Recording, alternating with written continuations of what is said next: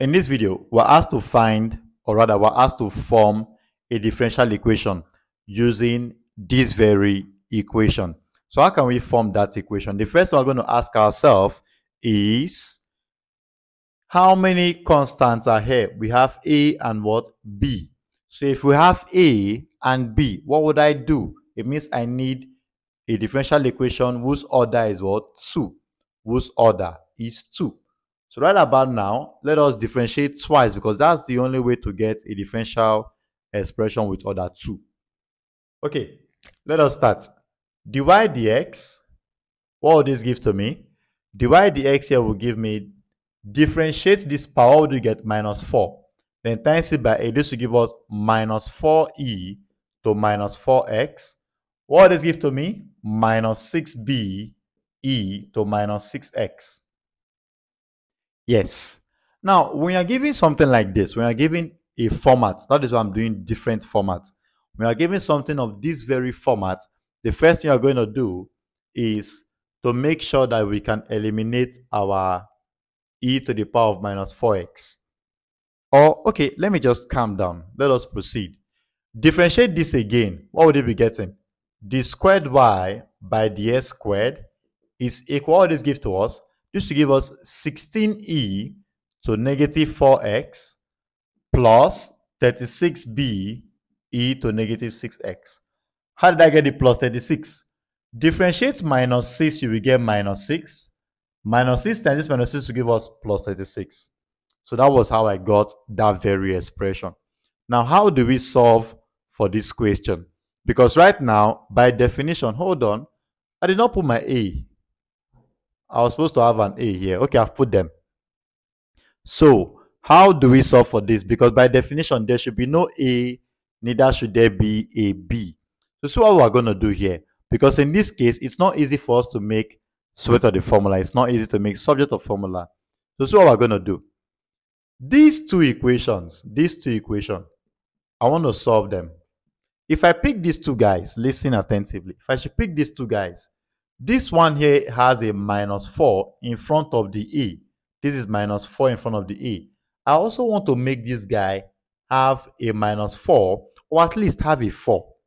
So I'm going to say, let me call this equation 1, equation 2, equation 3. So I'll say from equation 1, from equation 1, I want to times equation 1 by 4. So this then become 4y equal 4a e to negative 4x plus 4b e to negative 6x. Okay, now what is my equation 2? I just want to write down my equation 2 here. So this is dy dx equal, what would this become? Minus 4ae to minus 4x minus 6be to minus 6x. Now, what am I going to do here? How do I eliminate these two guys? If I want to eliminate these two guys, I simply have to add both equation. Because if I say this plus this, I'm going to get 0. So let us add both equations. This will become dy dx plus 4y equal, this guy is gone. So let us add these two guys. So that we're going to be getting? This will become minus 2b e to minus 6x. That's what we're simply going to be having. So this expression should become equation 4, if you wish. If you wish, that will become equation what? 4. Now let us move ahead and let us proceed to see what this is going to be looking like. Now, these two equations, these two, remember what we have been doing? We are trying to eliminate A. So can I eliminate A here? Yes. With these two equations, equation 2 and equation 3, how would I eliminate A? Now, Equation 3 has 16 for the A. How would I make this very one also have a 16? I have to times it by 4 again. So I'll say from equation 2, from equation 2, can we times here by 4? Yes. This will become 4 dy dx equal, this times will give me minus 16a e to minus 4x minus 4 times to give me what? 24b to the e minus 6x. That's what we're going to be having. Now, for um, let me not say for proficiency, if I know the meaning of that, we're going to put this guy below it because this is what, what I'm trying to remove. I'm trying to eliminate this guy. So I'll just put the squared y over dx squared equals 16 ae to minus 4x plus 36be to negative 6x.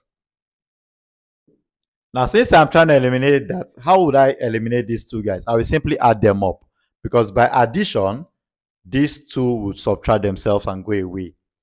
So that means we're going to be having d squared y over dx squared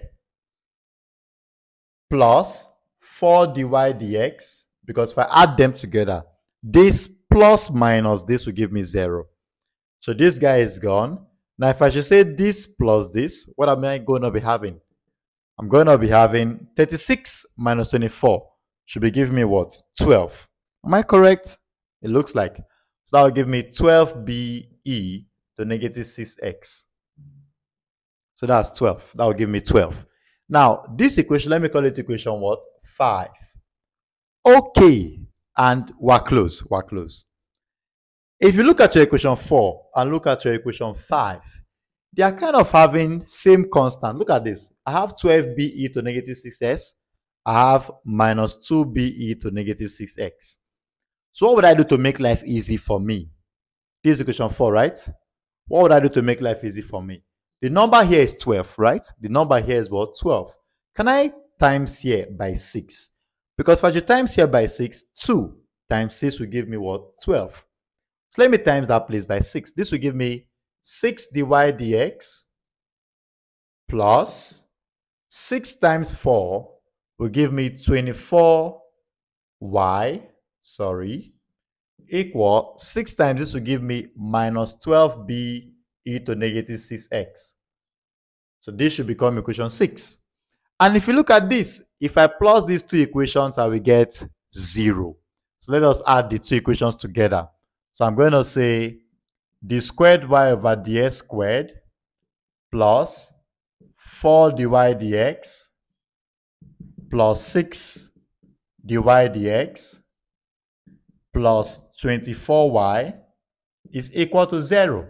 Because if I should add these two guys together, I'm simply going to be getting what? 0. So this will then become d squared y over dx squared plus what this gives to me? This is 10 dy dx plus 24y equal to what? 0. So that will become the differential equation which will give you this very answer. Now, as you can see, um, I don't think I wanted to do this. There's another way to do this. You will learn that in the future videos. So, but for the now, that is all that we have. For the now, that is all that we have. So can I proceed? Yes, I can proceed. Remember to hit the subscribe button, like this video, and share it across to your classmates.